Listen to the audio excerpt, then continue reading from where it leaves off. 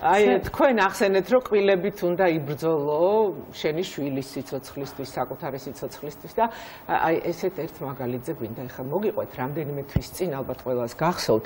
პატარა დათი ქოქრაშვილის ამბავმა მთელი ქვეყანა შეძრა. უმძიმესმა კადრებმა, რომელიც სოციალურ ქსელში გავრცელდა, კიდევ ერთხელ დაგვაფიქრა მშობლების საკუთარ უსუსურობაზე, როცა წესები მხოლოდ წესებისთვის არსებობს და ადამიანები სხვისი სიცოცხლის ფასად რისკავენ.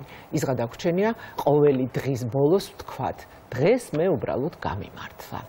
შეგახსენებთ რომ დათის დათის პატრა დათის ავტომობილი 31 მარტს დილით დაეჯახა მას მარჯვენა ფეხის ამპუტაცია დასჭირდა და ჩვენთან ხაზია დათის დედა გერმანიიდან ქრისტინე მამუკაშვილი და მივესალმები მას მოგესალმებით ქალბატონო ქრისტინე. მოგესალმებით.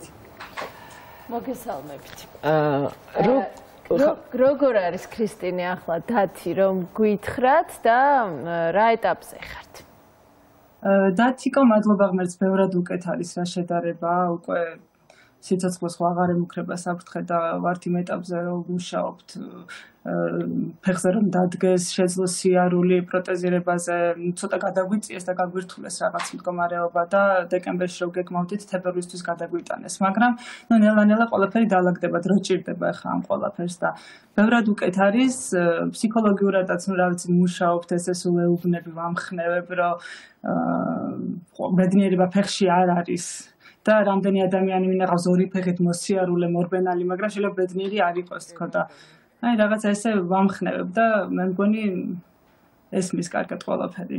ბედნიერება გულშია. მშობლებიც რო გამხნევოთ თუ შეიძლება, რას ეტყვით მშობლებს? ვინც თუ პერიოდს გაწ.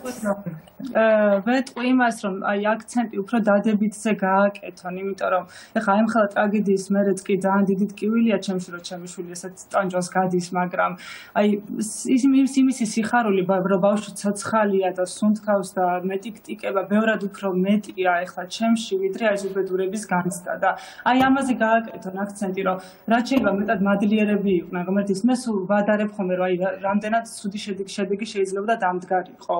რომ აი შეიძლება და ხერხემალი დაზიანებოდა ან რაღაცა უფრო რთულად ქონოდა საქმე კიდევ უფრო რთულად. აი საერთოდ რა მაქვს საწუწუნო ეხლა პატარა კიტას და ანგელოზი მარიტას მერე საერთოდ ხმა არ ამომერდება და მადლობა უფას რომ ბავშვი ცოცხალი მყავს რა. საწუწუნო არაფერი აღარ მაქვს მე და აი მაგაზე გააკეთონ აქცენტი, რომ მადლიერებით და სიყვარულით შეხვდნენ აი ამ განსაცდელს.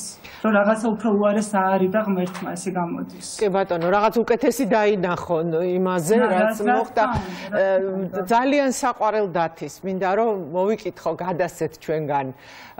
ის რომ აუცილებლად ყველაფერი კარგად იქნება, დათი ივლის კიდეც, ირბენს კიდეც, იქნება ჯანმრთელი, ლაღი და ბედნიერი ბავშვი და აი ეს გზა რაც მან გაიარა საკმაოდ რთული მის ცხოვრებაში იქნება რაღაცა რაღაცა ცუდის დასასრული და კარგის დასაწყისი და მას წინ ელოდება სიკეთე და ლაღი ცხოვრება. ამ წმენასაც ძალიან დიდი მნიშვნელობა აქვს, რომ ბოლომდე დაიჯერეთ, რომ ყველაფერი კარგად იქნება და ყველაფერს დავამარცხებთ. და ჩვენ მე მჯერა რომ ფეხზე დადგება დათიკო, იმიტომ რომ უფალმა იმ ხელა განსაცდელი გამოაწარდა, იმ ხელა კანჯვა გამოვიარდა, არ შეიძლება რომ ღმერთმა ბოლომდე არ მიგვიყვანოს და არ გამოგვაჯანმრთელოს მჯერამი ამის. კი ბატონო. და თქვენ გისურვებთ წარმატებას.